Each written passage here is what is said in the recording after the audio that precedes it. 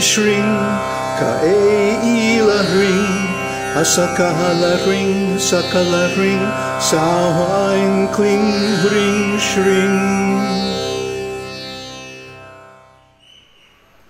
Namaste. So it's so funny.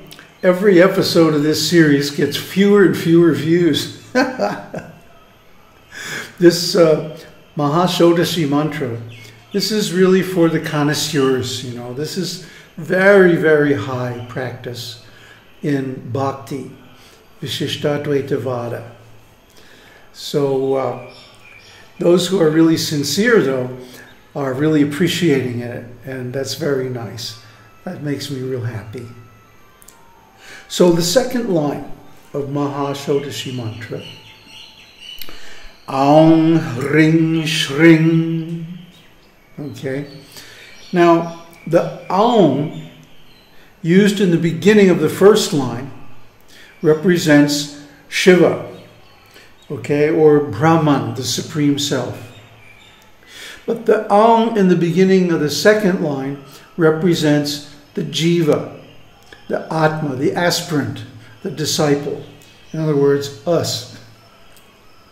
So, in actual practice, once we have the initiation, we replace the second Aum at the beginning of the second line with our Atma Bija. Now, Atma Bija is a, a concept that we've explained a little bit in some previous videos, but I guess I should uh, explain more. The Atma Bija is a bija, usually one of the main bijas that we've already covered, which is given at the time of initiation into the mantra. So first, one should get initiation into Siddhi mantra. And Siddhi mantra includes one's Atma Bija which is usually like ing, shring, hring, aing, kling, one of those bijas. And this is calculated according to astrology. And there's like many, many combinations of mantras or bijas in the Siddhi mantra. So don't chant somebody else's mantra. Get your initiation and in the video on Siddhi Mantra, I gave the email address in the video description that you can email to get this initiation. So you should do that first. Chant the Siddhi Mantra for some time until you're sure that it's working nicely, you're getting bliss and relief from suffering and all that good stuff. And only then apply for initiation into Mahashodashi Mantra. So when we chant the uh, mantra before initiation, we replace the Atma Bija with another Aum.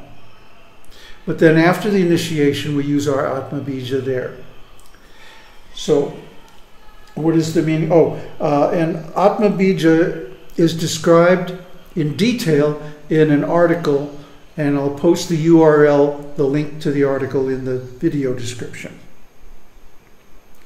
So,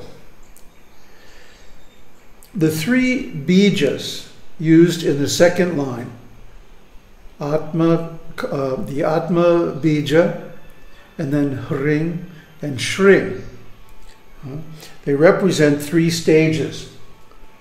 The Aum, or Atma bija, is the apara stage, or the individual, the empirical self.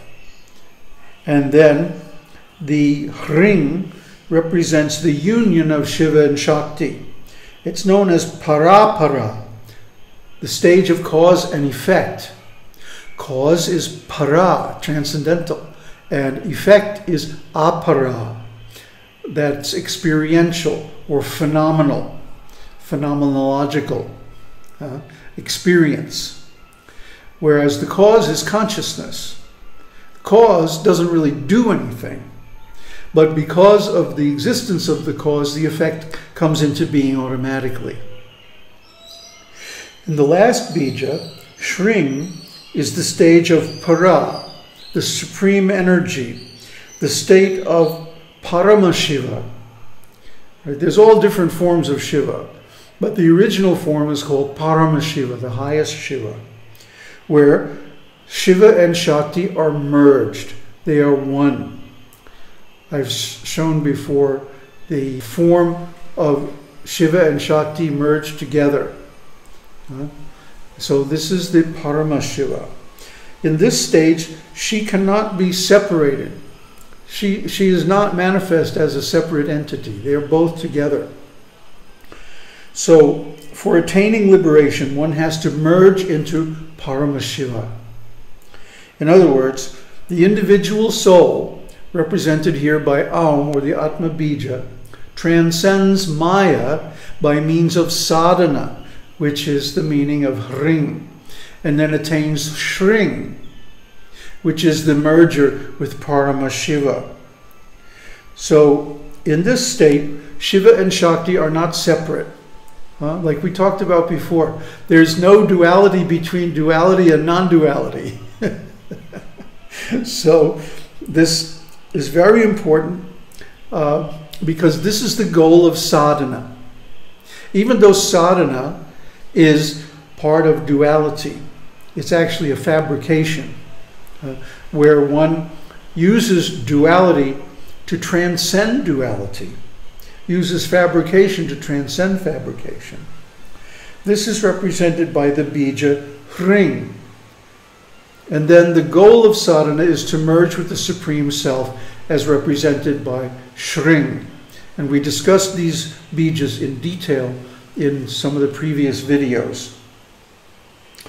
So in the second line of Mahashodashi mantra, then the process of liberation is explicitly given. So that's about it for the second line. The third, fourth, and fifth lines, the next three lines, are the Panchadashi mantra. They have 15 bijas, Panchadasha, 15. So Panchadashi mantra will be explained in the next few videos. But I just want to point out that the very last line of the Shodashi mantra is same as the first line, but in reverse. Sao, Ein, Kling, Ring, Shring.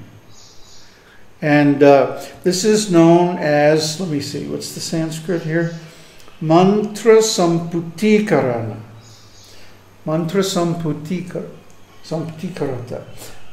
So, this means the mantra is sealed. That the energy invoked by chanting the mantra does not go outside, but it remains inside, within. It's, this is a very internal mantra. It uses the internal energy, uh, the Shakti, the Kundalini. And when chanted properly, the Kundalini will rise, open their heart. Uh, you'll get all kinds of ecstasies, and then the energy will ascend to the top of the head, to the thousand petal lotus, and you get the liberation. That's about it for this one. Om Tat Sat Guru Saranai.